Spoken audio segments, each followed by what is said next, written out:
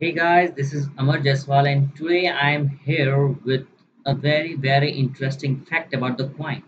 So do you know what is the actual shape of the coin? What? I'm thinking what is the actual shape of coin? I got it. It's a circle. It's circular. No, I got it. It's a sphere. No.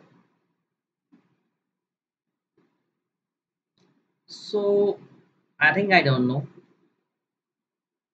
Just tell me what is the actual shape of the coin? Okay, I will tell you. Look at here.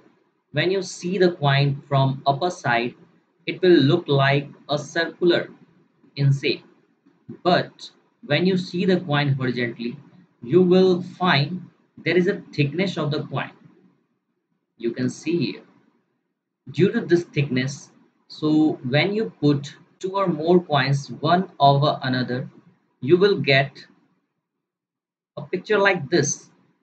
So these pictures are saying something. What? So you can see here, this picture has some length and there is a circular face on the upper side and a circular face on the bottom side. So this shape looks like a 3D figure which is similar to cylinder. So we can say that a single coin is cylindrical in shape. So thank you for watching this video and if you like the concept please like share and subscribe my channel thank you